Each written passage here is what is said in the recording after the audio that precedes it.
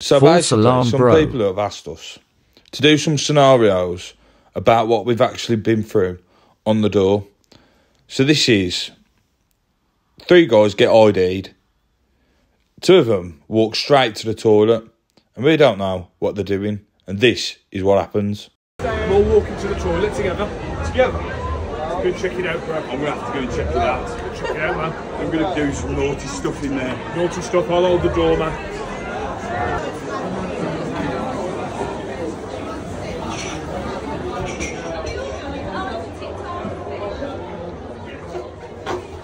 Hey, what are you doing?